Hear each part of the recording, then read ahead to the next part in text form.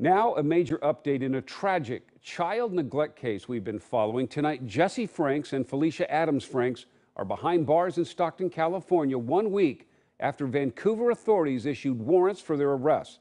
The couple wanted for second degree murder investigations after they starved their 15 year old adopted son to death. Jenny Young spoke to police in California tonight. Uh, what did they tell you, Jenny?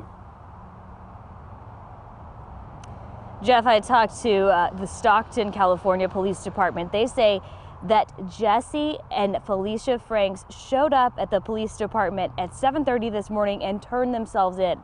And we've been out to their old neighborhood a couple of times uh, in the last few months, and neighbors out there tell us that when this story broke back in April, the couple left their home and haven't been seen since. We talked to people out there today who say they hope Karreon gets justice. It saddens me that happened, you know, down the street. This neighbor who didn't want to be identified told us about the first time he met Karreon Franks. Skinny as bones. It was just sad because he was just like begging for water. He says it was a rare occasion. The 15 year old, who authorities say was severely autistic and legally blind, was sitting outside with some of the neighborhood kids, and it was apparent Karreon was very thirsty. Give him some water, and that's what I said.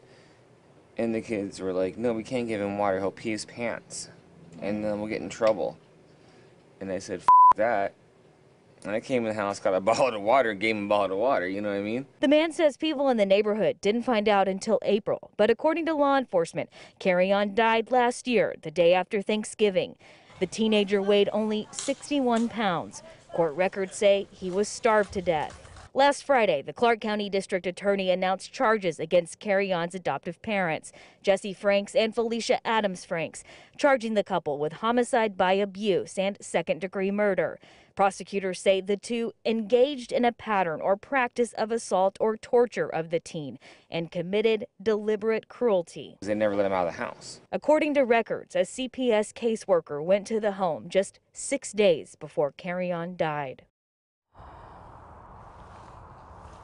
Okay, we told you back in April that Felicia Franks, according to court records, received $3,000 a month from the state of California to care for Karreon. Now, those warrants for the couple out of Clark County, they were nationwide. So that means uh, that the county will pay to extradite them to Washington. No word yet uh, when they will be brought back here. We will continue to follow this as we have been.